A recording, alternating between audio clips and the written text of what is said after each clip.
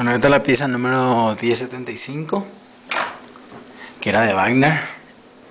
Ahora me muevo acá, así que vamos a empezar a hacer cambios drásticos. Está horrible.